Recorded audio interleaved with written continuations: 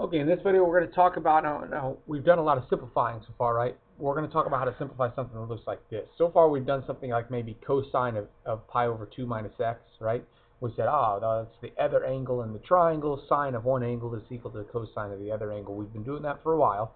Here's a new one though. What if we do theta minus 3 pi over 2?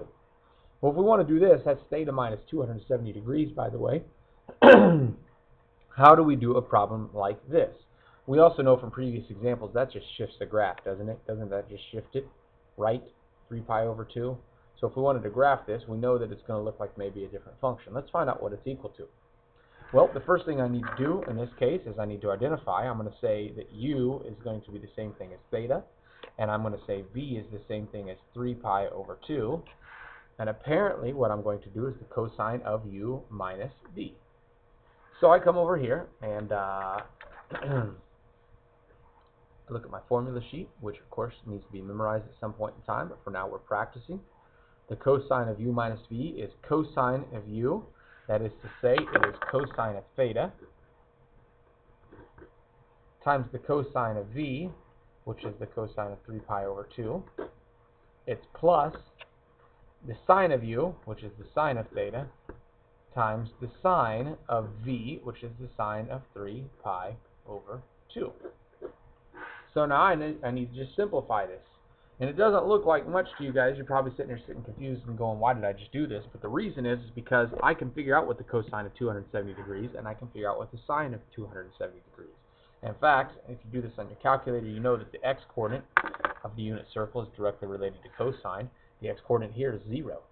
So this is the cosine of theta times 0 plus the sine of theta times, and the sine is directly related to the y-coordinate on the unit circle, that's a negative 1.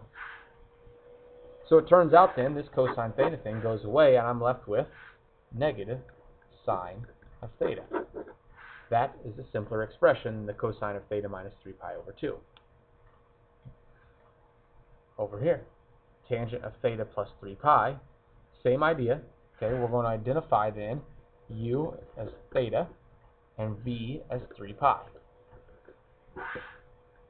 So, once we do that, then we come over here to our formula sheet, which of course you need to have memorized at some point in time. Have I said that enough?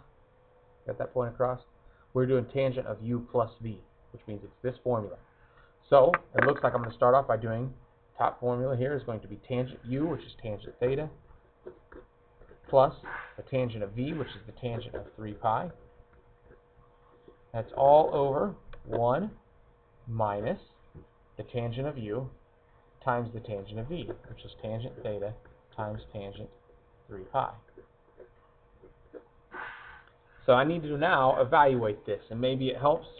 You know, if, if all else fails, I go and I make sure my calculator is in radians mode, and I say tangent of 3 pi. I find out that that's 0. So, looks like anything with this tangent 3 pi is going to go away. That goes away, that's a 0. Tangent 3 pi down here, that goes away. And I end up with tangent theta over 1. Those are the only terms that are even left. This is the same thing as tangent theta. A much simpler expression, right? So as long as we know the sum and difference formulas now, anytime you see a plus or a minus, and you can do that for anything, anytime you see a plus or a minus in here, we can use the sum and difference formulas to go ahead and make that a simpler expression, which then, of course, you would want to use this whenever you're working a problem, wouldn't you?